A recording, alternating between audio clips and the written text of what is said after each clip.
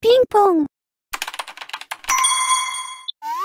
してくださいえ、何がや？この通りどの通りなんだよボケ。土下座しますなら土下座をしろ。額を床に振りつけるくらい頭下げますからそこ天井、天井がすごい擦れてる。うわーもうこの学校にいるなよ落ち着け落ち着け。一体何したんやお前。実は先日喧嘩をしてしまって。喧嘩？誰と？電柱と何言ってるんだこいつ。あれは学校からの帰り道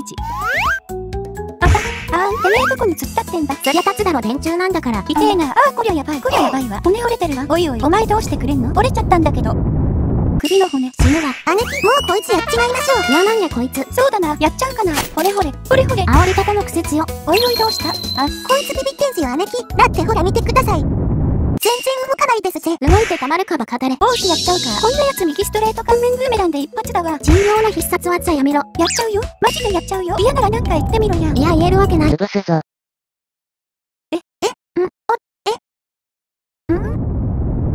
潰すぞおー。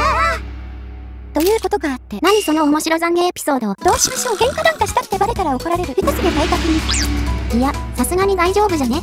そそうですかねだって実際に喧嘩したわけでもないし、相手人間やないし、端から見たらただの電柱にぶつかって切れてるただのヤバいやつにしか見えんから。